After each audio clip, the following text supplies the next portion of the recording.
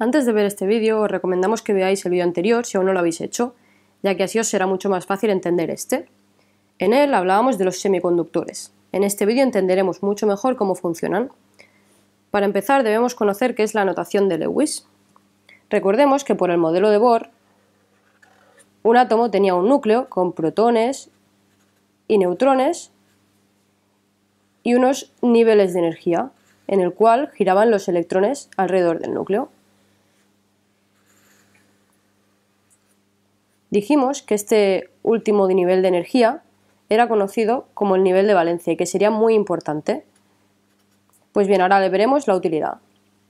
En este último nivel de energía, todos los átomos quieren tener 8 electrones para ser estables, excepto el de hidrógeno que quiere tener 2. Así pues, siempre buscarán tener 8 electrones en esta capa. Cuando hablemos de, de los semiconductores, utilizaremos la notación de Lewis. ¿Esta qué es? Es utilizar una, redonda, un círculo, poner dentro el símbolo del elemento que estamos utilizando y dibujar como puntitos los, los, electrones de su capa de valencia. En el caso del silicio, que es el que hemos escogido, tendría cuatro electrones, por tanto ponemos cuatro puntitos. En el caso de este ejemplo, que podría ser un elemento cualquiera, tenemos dos electrones, por tanto pondríamos dos puntitos. Esta notación es la que utilizaremos para entender los semiconductores. Así pues, empezamos con los semiconductores. Existen dos tipos, los intrínsecos y los extrínsecos.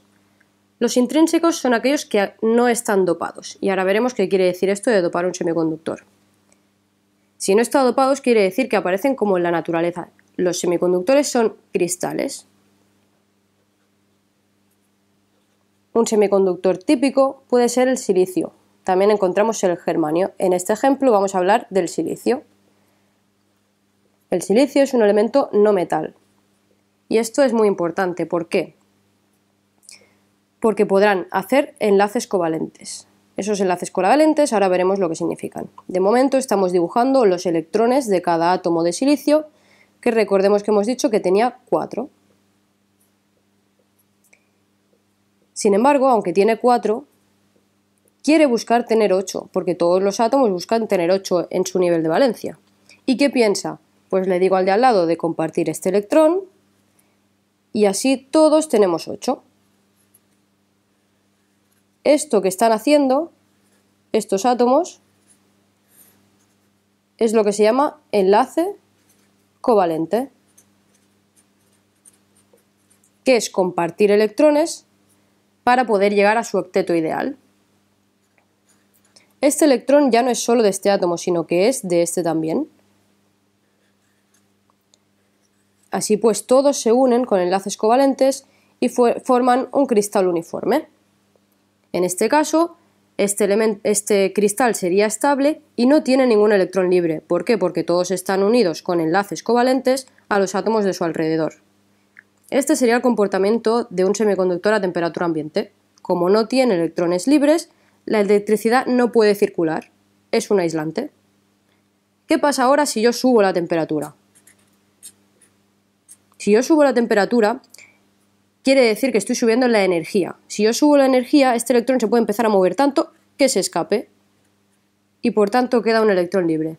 Este electrón será el que se moverá y generará la electricidad.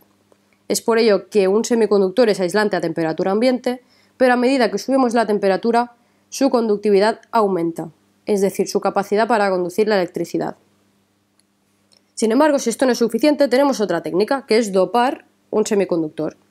Los semiconductores dopados se llaman extrínsecos, que significa que tiene una impureza, que tiene algo introducido que no es propio del cristal puro.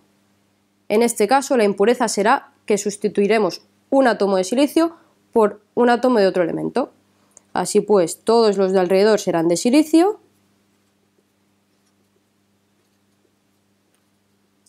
pero el de medio en este caso será de fósforo. Esta es la impureza que, que introducimos. Quitamos uno de silicio y ponemos uno de fósforo. Los de silicio recordamos que tenían cuatro electrones en la capa de valencia. ¿Y cuántos tiene el de fósforo? El de fósforo tiene 5 electrones.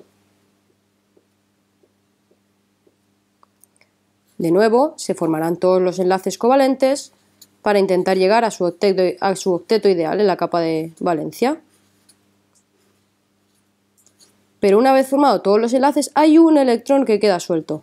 Es un electrón libre. Y este electrón libre se produce porque hemos introducido este nuevo elemento que tiene 5 electrones. Este electrón circulará y generará electricidad. Este tipo de semiconductor extrínseco es conocido como tipo N.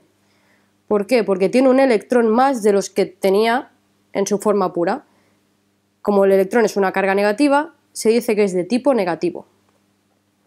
Lo mismo puede pasar, pero con tipo P. Supongo que ya podéis deducir que el tipo P será porque le falte un electrón. Y por tanto será tipo positivo. En este caso, por ejemplo, podemos poner un átomo de boro. El de silicio tiene 4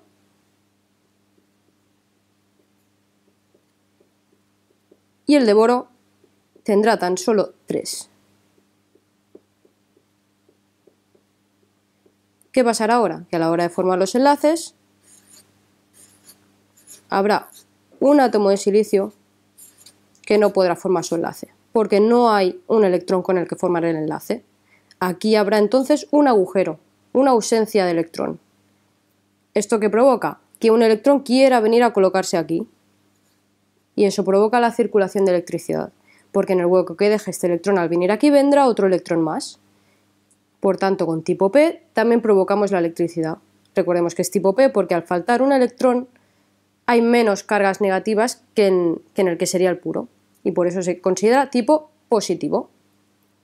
Así pues, si queremos trabajar con semiconductores tenemos que tener claro que a temperatura ambiente son aislantes, cuando subimos la temperatura eh, puede conducir la electricidad porque puedes generar algún electrón libre y si no, los dopamos, que es introducir un átomo que tenga un, número diferente de electrones en su capa de valencia y así provocar que circulen electrones ya sea porque sobran o porque faltan.